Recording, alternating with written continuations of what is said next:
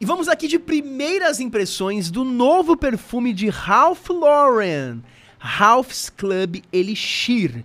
Galera, eu acredito que esse é o lançamento mais importante do ano. Essa linha Ralph's Club é uma linha que até o momento não teve grande impacto. O primeiro perfume é ok, o segundo já é melhor então, a minha expectativa é que esse terceiro entregue algo interessante. Eu não abri, não consegui nem sentir. Eu comprei ele na no free shop na minha última viagem. Esse daqui eu não senti porque eu acho que ele tinha acabado de chegar, nem tinha tester, eu também tava meio com pressa, enfim. Então, as minhas primeiras impressões serão junto com vocês nesse vídeo. Ralph's Club Elixir, sem mais delongas, roda a vinheta aí, papai.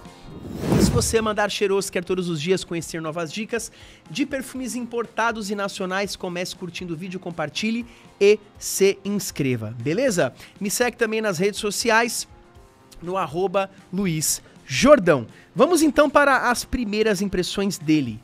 Ralph's Club Elixir. Bom, perfume lacrado eu vou abrir junto com vocês. O lacre tá bem apertado. Vou mostrar os detalhes aqui da caixa. E aí a gente vai para as primeiras impressões. Bora que bora. Bom, a apresentação dele é igual às outras, tá? Eu digo o formato da caixa e tal. Ele tem de um detalhe aqui bonito de alto relevo, que eu gosto muito o logo aqui, né, desse Ralph's Club aqui na frente, o Elixir aqui embaixo. Esse eu comprei de 75ml, ok? Na parte lateral mostra que ele é refilável. Aqui temos um QR Code, possivelmente para você conferir informações de lote e tudo mais. Aqui embaixo, Batch Code, informação para você checar junto com o vidro lá dentro e conferir lote e originalidade.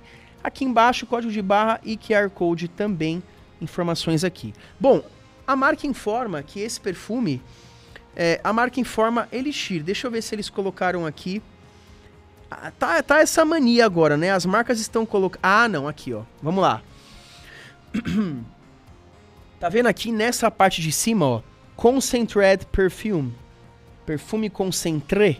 Então, acredito que isso daqui seja um parfum ou um parfum bem concentrado, quase chegando no caminho do extrato? Não sei. Então, assim, é um parfum bem concentrado. Concentrated Perfume, interpreto como um parfum, então acima de eau de parfum. Detalhe bonito aqui na abertura que eu achei. Ó, o cartucho aqui com o detalhezinho parecido com a caixa, tá? Bem bonitinho. E aqui um QR Code com informações de interação. É... Tá falando aqui, entre no clube. Então vai ter informações aqui de interação. Às vezes eles lançam filtro do Instagram, sei lá, várias coisinhas, né? Enfim, ó. o vidro tá muito chique, tá muito bonito, ok? Essa parte do meio é um chumbo, cor chumbo mais escura. O frasco, ele lembra um pouquinho os frascos do Polo Blue. Não sei se é o mesmo frasco, mas é um pouco parecido. Aqui embaixo o batch code que eu tinha falado para vocês, tá? E a tampa abre aqui na lateral, beleza? Ó, logo aqui na parte de cima. logo Ralph Lauren aqui na tampa. Tudo muito bonito, tudo muito belo. Vamos agora para o que interessa, que é o cheiro desse perfume.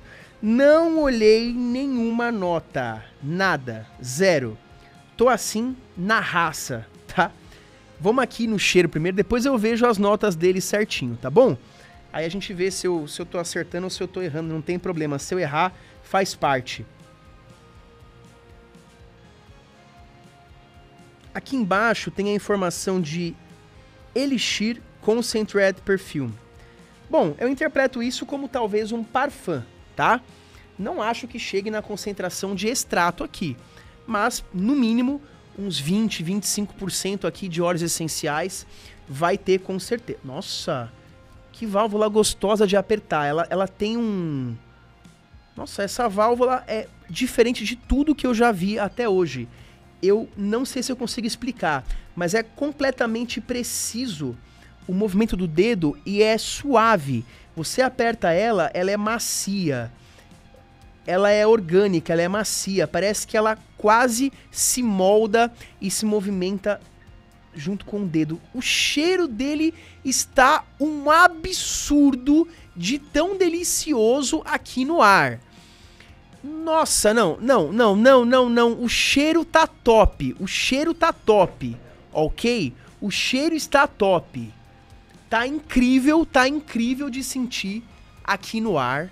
A gente vai sentir de perto, ok? De, de cara. De cara, pelo que eu sinto no ar, é disparado de longe. Assim, ele dá uma surra. Uma surra pesada no primeiro. Dá uma surra violenta, não é não é leve não, é uma surra assim. Não tem comparação, tipo, o primeiro tá aqui, esse tá aqui, né? É, de primeira impressão ele tá maravilhoso. V vamos sentir, aliás, no ar aqui, né? Vamos sentir ele de perto. Ai, ai, ai, nota de íris, nota de íris, nota de íris maravilhosa, já me agrada muito, já me agrada muito. Tô feliz com ele desde a primeira borrifada. Ah, que nota de íris top. Agora, agora sim, Ralph Lauren. Agora sim. Isso é uma proposta de luxo e sofisticação que eu entendi que era a ideia do Ralph's Club desde o princípio, tá? O primeiro Ralph's Club é um frutado, é, muito suave, uma proposta muito jovial. Aqui a gente tem um perfume chique, com cheiro de rico desde a primeira borrifada. Aqui nós temos um perfume de luxo. Essa fragrância me agrada muito. Nessa primeira cheiradinha aqui, diria para vocês que ele entra talvez num top 5 aí, top 6, top 5 melhores do ano. Isso porque eu só, né, vamos lá. Não, essa nota de íris tá linda. Ela tá, tá me arrepiando aqui, ó. Eu fico arrepiado de sentir essa nota de íris, tá? Uau, uau, uma qualidade surreal. Dá para sentir ainda um DNA que, nesse caso aqui, fica muito bom. Um DNA do primeiro, um frutado, um suculento, convida a gente aqui, uma abertura convidativa. Isso tá bem legal. Só que essa nota de íris, ela leva o perfume para um outro patamar, tá? Traz uma sofisticação, traz um luxo que faz com que esse perfume se torne até uma assinatura com cheiro de rico. Essas são as minhas primeiras impressões. Ele tem frescor, ele tem conforto e traz essa elegância, essa sensualidade ao mesmo tempo. Olha, uma base amadeirada querendo começar a aparecer me deixa muito mais maluco, tá? Um amadeirado bem tradicional, talvez um cashmere aqui, talvez um cedro com carvalho, algo nesse sentido. Ele é terroso, tá? Vetiver tá presente aqui também.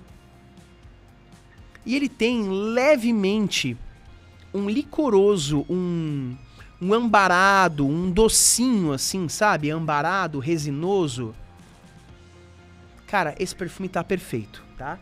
Esse perfume está perfeito. Eu digo para vocês com tranquilidade que ele já entra para mim, tá? No meu coração aqui, nessas minhas primeiras impressões, como talvez um dos melhores Ralph Lauren de todos os tempos. Quando é para criticar, eu critico, vocês sabem disso. Tanto que o Ralph's Club tomou pancadinhas. Tomou pancadas, na verdade, né? Ficou lá para baixo nos melhores do ano, como um dos piores colocados. O Ralph's Club Old Parfum já melhorou um pouquinho. Agora, isso aqui foi o acerto da marca. Para mim, agora eu considero que a marca lançou a linha Ralph's Club. Vamos, vamos começar daqui para frente, tá bom? Daqui para frente a marca lançou agora essa linha. Aqui eu torço muito para que ele chegue logo no Brasil, para que vocês entendam o que eu tô falando. A marca conseguiu transmitir essa ideia do luxo, do clube de Ralph Lauren, essa sensação aqui, né? É mais escura, mais dark, tá muito presente. Nós temos um amadeirado fino por aqui, com essa nota de íris absurda. Deixa eu borrifar na minha mão esquerda, que tá sem perfume aqui. Esse borrifador, ele é genial, é um dos mais bonitos que eu já vi, tá? Muito bonito mesmo. Vamos sentir na pele para entender se ele é tudo isso, tá? Porque na fita ele foi show. Ah, na pele é melhor ainda. E o mais incrível é a pancada que ele tem de projeção, cara. É um absurdo. De longe. Ó, eu tô arrepiado aqui, tá? Eu tô arrepiado fácil, só de sentir.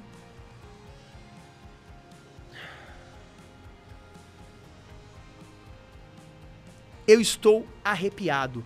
Esse perfume na pele ficou mais claro para mim. Ele tem uma cremosidade muito interessante, muito envolvente. E ele tem levemente uma nota aqui, eu vou chutar o uísque.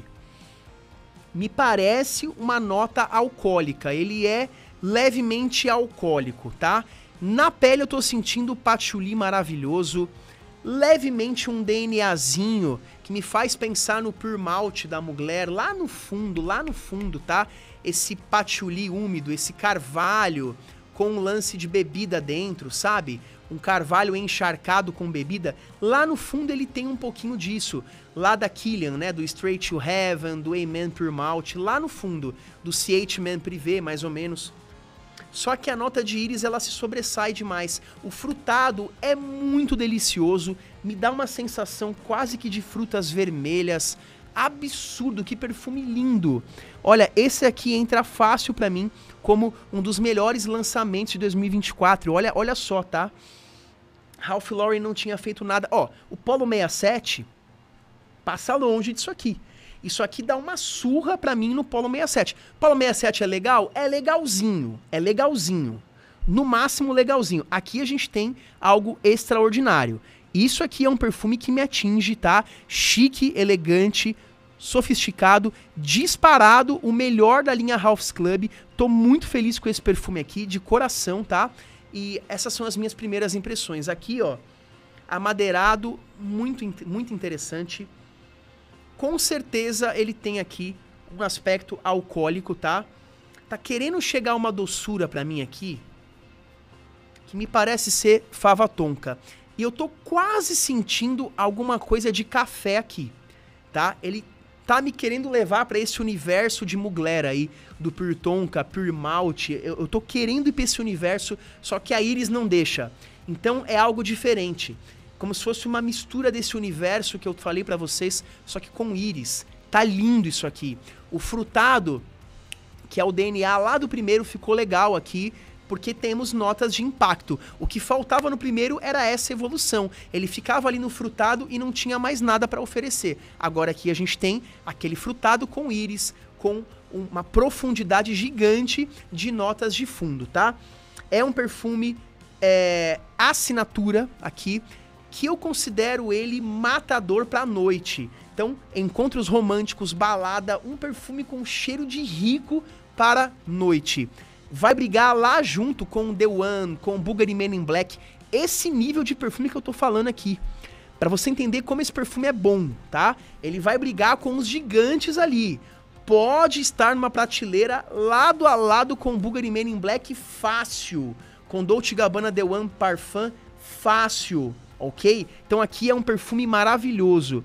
Claro, tudo isso primeiras impressões. Tenho a impressão que ele vai fixar muito, ele é bem oleoso aqui na pele, dá pra ver, ó, né?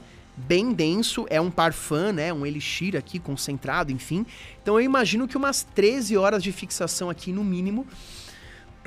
Projeção aqui, eu imagino que algo de duas horas e meia a três horas moderada para alta, ele chama a atenção, projeta legal é com certeza o maior acerto de Ralph's Club até agora e para mim um dos melhores acertos de Ralph Lauren de todos os tempos. A ideia do Ralph's Club desde o primeiro momento era passar a ideia de um clube noturno sofisticado. Tanto que ele foi lançado, eu fui no lançamento em São Paulo no Bar dos Arcos, que tem essa ideia meio underground, meio elegante, noturna, né? Enfim. É... Mas o primeiro não conseguiu transmitir isso. Agora, essa fragrância consegue transmitir todo o briefing de House Club que foi apresentado um conceito lindo até agora, mas um perfume que não entregava muito. Agora a gente tem aqui uma maravilha olfativa no House Club Elixir, tá? Tô muito feliz, eu quero finalizar só vendo as notinhas dele, porque eu não vi ainda, então vamos lá. Eu vou, eu tô indo na raça, né? Tô indo no meu nariz aqui. Vamos lá, Ralph's, ops, Ralph's Club Elixir. Eu tenho o primeiro, que é o Old Parfum. Eu tenho o Parfum. E agora o Elixir. Olha quem fez, né? Dominique Ropion. Não sei se foi ele que fez os outros, ok? Mas ó, raiz de orris, né? Que é a íris muito presente aqui. Couro. Engraçado, eu não tinha sentido esse couro. É, ele não tá mostrando aqui, infelizmente, né? O que eu queria. Mas, ó, couro. Nesse jeito que ele tá aqui, é um couro sujo e animálico. Quando a gente junta couro com patchouli, nós temos aqui. Lembra que eu falei do Straight to Heaven da Killian? Então, o Straight to Heaven ele é equilibrado ainda. Aí tem o Ursa da Tiziana Terenzi, que é esse couro sujo exagerado com patchouli. Fica uma impressão é, como se fosse ali, né? É, no caso do Ursa, algo muito exagerado. Não fica tão legal, ele fica meio mofo, mofado equilibrado, isso fica incrível. É o que eu sinto aqui, equilíbrio. Então ele fica igual o Straight to Heaven, que é aquela sensação de madeira úmida. No caso do Straight to Heaven, tem o carvalho e tem o whisky. Aqui não tá falando, mas eu sinto um pouco dessa onda, né? Como se fosse uma uma como é que fala? Adega é de vinho, não sei se adega é de uísque também, mas um local que tem ali repousadas bebidas, né, nos barris de carvalho encharcados por dentro. Então, esse alcoólico amadeirado é muito presente aqui no Ralph's Club, que era uma ideia de briefing do primeiro, né, do whisky e tal. Aqui a gente tem, tá? Aqui eles entregaram isso. O frutado que eu falei, frutas vermelhas, geralmente mandarina, quando tem com toranja, ela confunde um pouquinho com é, frutas vermelhas, né? Então é uma tangerina, quase que uma laranja sanguínea, quase que é isso, é um grapefruit aqui, que é a toranja mesmo. Então, esse cítrico docinho, achicletado, maravilhoso. Cardamomo eu não tinha percebido. Agora a íris é muito gritante, né? E essa doçura licorosa, resinosa do olíbano, deliciosa. O bálsamo de abeto não sinto tanto aqui, eu sinto mais de fato esse olíbano, esse ambarado docinho, a íris maravilhosa, esse frutado e esse patchouli muito evidente, amadeirado, úmido, fantástico, tá? Eu tô olhando aqui as notinhas, gostei demais do perfume. Ficam aqui as minhas primeiras impressões. Ele parece fixar bem, projetar bem. É uma assinatura pra noite, cheiro de rico, que dá para você usar pro dia também em ambiente mais elegante, tá? Então, escritório, trabalho, algo nesse breve teremos uma resenha completa com mais detalhes. Espero que você tenha gostado. Se você gostou, deixa muito like aí. Tamo junto e até a próxima.